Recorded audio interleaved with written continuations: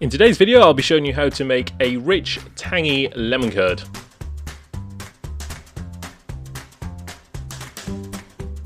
This recipe requires only four ingredients and the results will be far better than any store-bought lemon curd.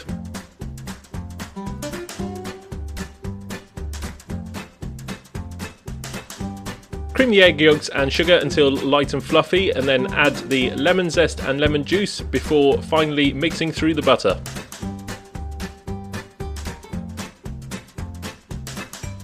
If you are new around here and would like to see more cooking and baking videos, then start right now by hitting the subscribe button and turning on the notification bell.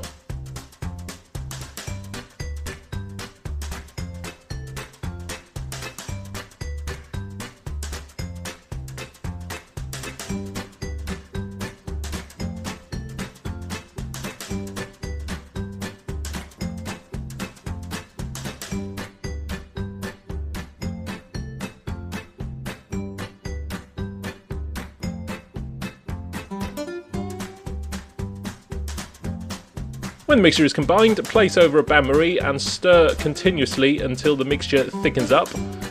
Check the temperature periodically. You do not want to let the temperature pass 82 degrees as this is the point where the eggs will begin to scramble and will split your mix. The length of time this takes will vary according to the size of your batch. This has been sped up, but this particular batch took roughly 10 minutes to thicken up.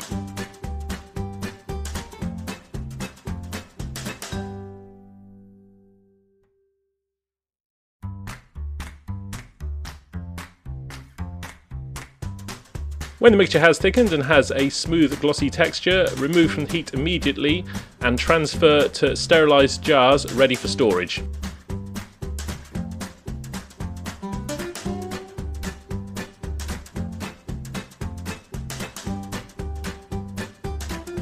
Once in the jars, close the jars and then store in the fridge for up to 7 days.